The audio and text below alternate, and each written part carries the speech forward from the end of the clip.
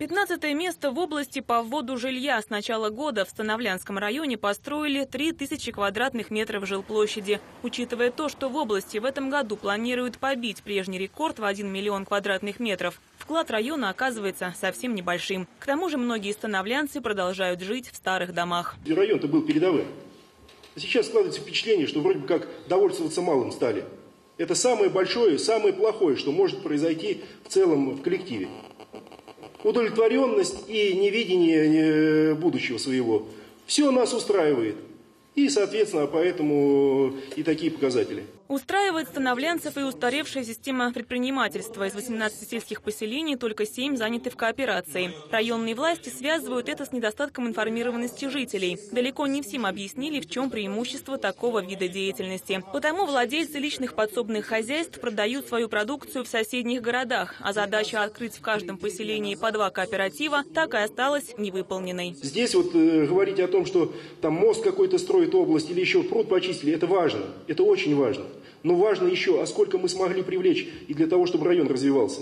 Проанализировать все программы, и в том числе на кооперацию, сколько из этих областных программ району досталось. Обязаны делать свое участие, определять для того, чтобы привлечь эти средства. А их 50 программ по всем направлениям.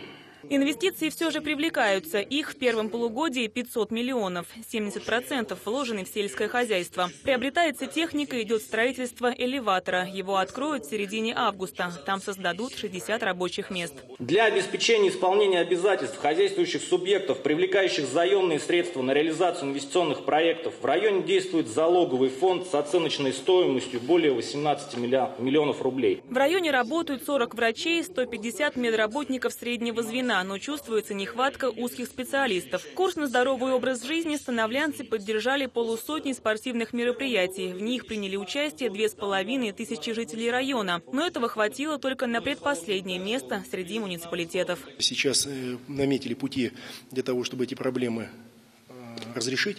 Ну и, соответственно, э, как помочь району развиваться.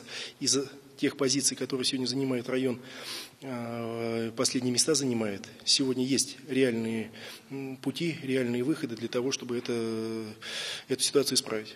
Задача номер один для Становлянского района – как можно быстрее войти в систему кооперации. Что касается еще более неотложных вопросов – это подготовка к новому учебному году. За месяц до начала занятий на техническое и информационное обеспечение учебных заведений не хватает 6 миллионов рублей. Катерина Мелехова, Алексей Великанов, Липецкое время, Становлянский район.